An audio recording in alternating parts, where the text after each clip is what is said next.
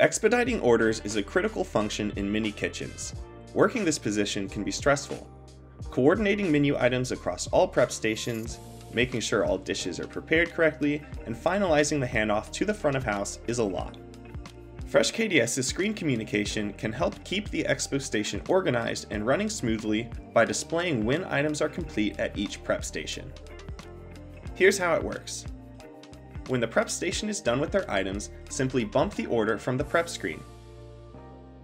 The items from that station are instantly updated with a strike through on the expo station screen. Interested in trying out this feature? From the FreshKDS app on your prep station screen, select Settings, Screen Communication, toggle on Screen Communication, select your Expo Station screen, ensure multi-clear is selected, tap Order Bump Action, select Strike Through all items on target screen, tap Back, and then back once more, Tap KDS Home to return to the home screen, and you're all set.